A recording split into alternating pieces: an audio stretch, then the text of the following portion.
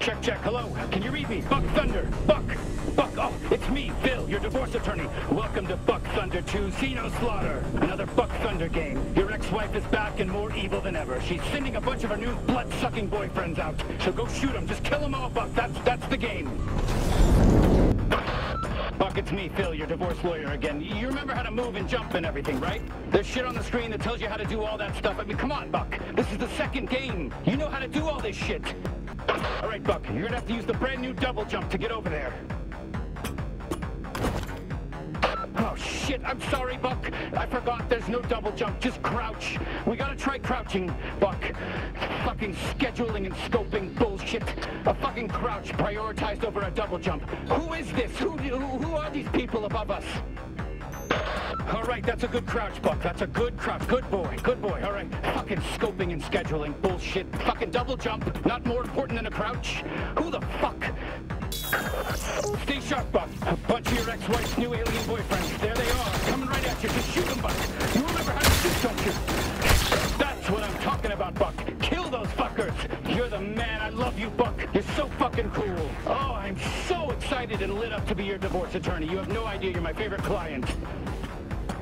All right, Buck, just open that door. It's so fucking easy. Just press the right button. This is just the tutorial part. It's easy. It's the easiest part, Buck. It's the beginning.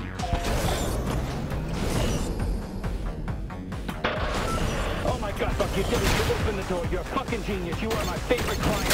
It's me, by the way, your divorce attorney. Don't forget, I'm Phil, your divorce attorney. Let's go. Let's get moving. Let's defeat your ex-wife.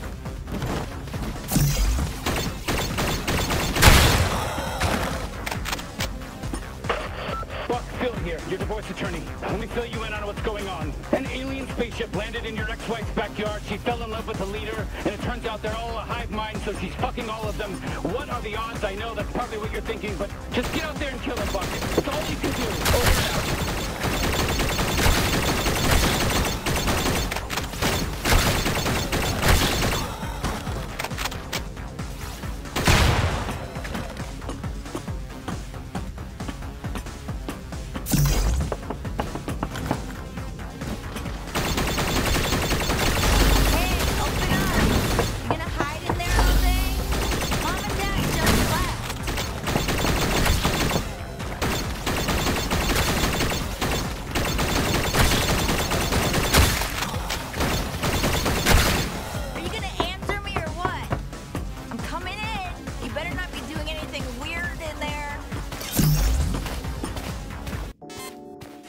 Why didn't you say goodbye to Mom and Dad before they left for their trip?